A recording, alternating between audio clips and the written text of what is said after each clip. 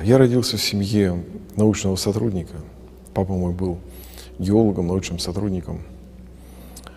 Семья у нас была большая. У нас было шесть человек детей у родителей. Но, конечно, основным центром э, жизни семьи была вера.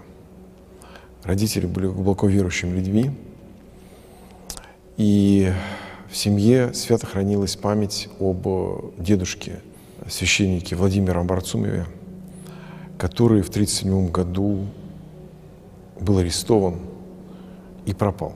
И память о деде была свята.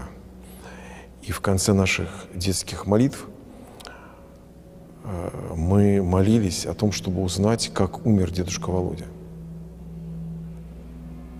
А когда мне было 14 лет, то мой отец э, принял тайно священство. И потом, до 90-го года, он э, практически каждое воскресенье и каждый большой праздник в своем кабинете, в обычной московской девятиэтажке мы жили, он практически каждое воскресенье совершал божественную литургию. Естественно, мы, дети, в этом принимали участие. И помогали папе там организовывать, преобразовывать его рабочий кабинет в храм.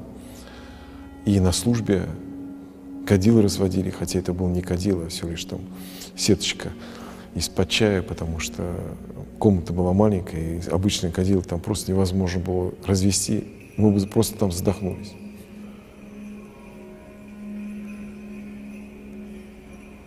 Вместе с тем, я совершенно не зря сказал в самом начале о том, что я родился в семье научного сотрудника, интеллигента, потому что, хотя я в третьем поколении священник, э, ну, если учитывать вот дедушка, потом папа, хотя сейчас вот э, из э, нас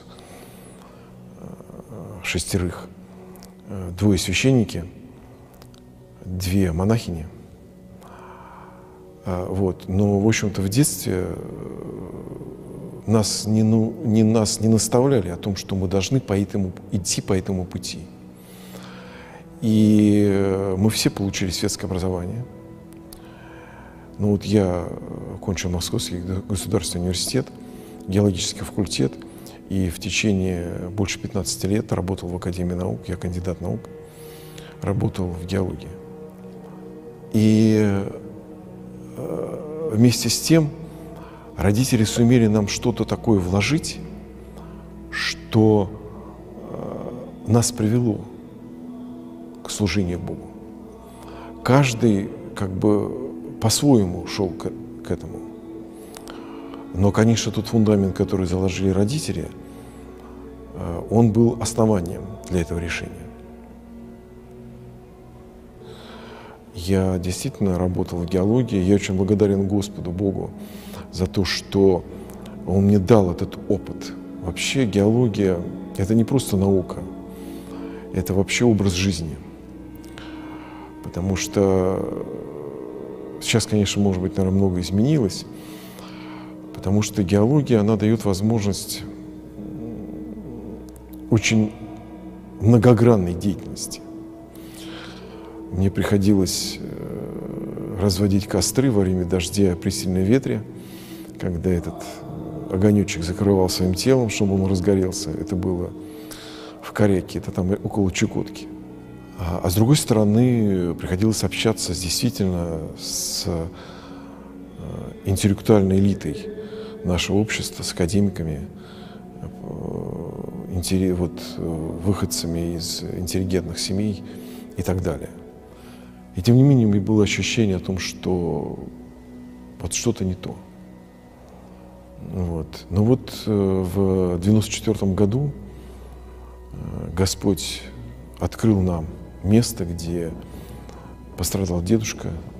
И мы узнали о том, что дедушка расстрелян только в 89 году. И только в 94 году здесь, на полигоне, мы узнали, что он лежит здесь. И когда мы это узнали, то я стал заниматься, принял участие в создании общины церковной, которая поставила перед собой задачу построить здесь храм. И меня избрали старостой, ну, председателем приходского совета этой общины. И через некоторое время священначалие предложило мне принять сан с тем, чтобы я возглавил эту общину не как светский человек, а как священник. Ну, соответственно, я вот заочно кончил семинарию и стал священником. Поэтому, когда меня иногда светские люди спрашивают, что как же так, вот у вас так все было замечательно в светской жизни, и вы вдруг так вот взяли резко. Да нет, это произошло совершенно естественным путем, очень закономерно и фактически, да, конечно, когда свящ... человек становится священником, очень многое меняется в его жизни. И он сам меняется, потому что благодать Божия в него вселяется. Но в целом для меня это был какой-то очень такой, я бы сказал, бы естественный процесс. И надо сказать, что мы вообще так наивно думали, что вот такое место, ну, в 90-х годах э, и в газетах, это сейчас почти об этом этот вопрос не поднимается, а в 90-х годах Э, было достаточно много публикаций вот, о репрессированных и так далее и тому подобное. И мы так наивно думали, что вот сейчас мы вот несколько статей там где-то опубликуем, и найдутся спонсоры и так далее и тому подобное. Ничего этого не произошло. И фактически э, община осталась э, один на один с этим местом. И фактически те инициативы, то, что происходило на полигоне, оно происходило в первую очередь по инициативе общины. Но, слава Богу, вот я сказал уже, что в нужный момент Господь посылал нужных людей, какие-то нужные решения. А, и действительно, вот когда мы там возрастали к чему-то, вот это происходило. Да, вот вдруг появился человек, который пришел и сказал, давай строить храм каменный. Я, откровенно говоря, сначала даже серьезно к этому не отнес. Как он потом мне рассказывал, говорит, ну я так понял, что просто не созрел. Что я не созрел до этого. Вот. И он через какое-то время опять с этим вопросом подошел ко мне. Я говорю, а что ты готов? Что у тебя деньги есть? Он говорит, да, у меня отложены деньги на строительство храма. И вот благодаря его средствам, ну, он еще привлек своих друзей, бизнесменов, организовал строительство этого храма. Вот Господь так вот послал. И таких примеров э, вот в жизни нашей буддийской общины, этого места очень много. Причем это очень хорошо, этот раб Божий Олег, он очень хорошо как-то сказал, здесь наши хотелки не проходят. Вот это иногда бывает, что что-то хочешь, там еще что-то такое. Вот здесь это не проходит. Здесь совершается все по воле Божьей. Естественно, когда храм открылся, стали приходить местные жители. Причем, ну, я был, если говорить о церковном таком э, моем возрастании, то я вырос храме Ильи Обыденного – это храм, который в, после войны был таким центром э, интеллигенции в Москве. Вот, пожалуй, два таких храма Кузнецы, и вот Обыденный был такой. Действительно, он сохранил очень много традиций российской общины, Зачатевского монастыря. И когда я здесь оказался, то вообще я был просто в шоке о том, что здесь еще просто какая-то пустыня. Но местные жители слово «всеночное» не знали о том, что вечером служится, может служиться служба. Ну да, там в городе, в Подольске. А чтобы вот в храме, который посреди леса стоит, а тогда это был действительно посреди леса. Сейчас ситуация изменилась, мы оказались в центре огромного жилого массива. А тогда это был просто лес. Но постепенно, слава Богу, народ стал приходить, местные, и они стали занимать все большую и большую роль в жизни нашей общины. И сейчас Хотя, конечно, к нам регулярно приезжают родственники пострадавших, но теперь это в основном внуки и правнуки, причем внуки, вот как я, которые не знали убиенных. А правнуки, праправнуки, а, какие-то дальние родственники регулярно к нам приезжают именно в память об своих родных. Причем иногда бывает ситуация, когда приезжают с другого конца города и просят, чтобы там молодые просят повенчаться у нас. Именно из-за того, что вот у них где там прадед или там прапрадед лежит здесь. Такие случаи. Они, естественно, там их не так много, но такие случаи бывают. Как папа говорил, священники бывают, священнослужители было, было, бывают разные. Три А бывает. Это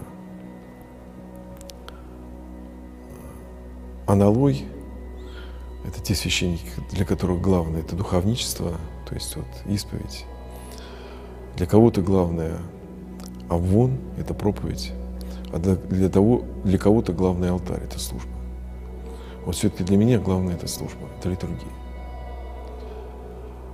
И хотя, конечно, я видел, как папа служил, э, я видел, как служил духовенство, старое духовенство, еще рукоположение начала 20-х годов, того, соответственно, века.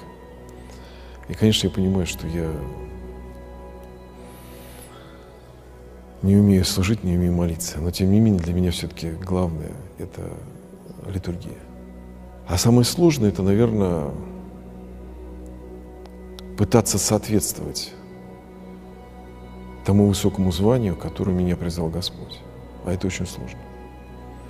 Потому что человек грешный, слабый, и прекрасно понимаешь свою немощь и действительно свое недостоинство.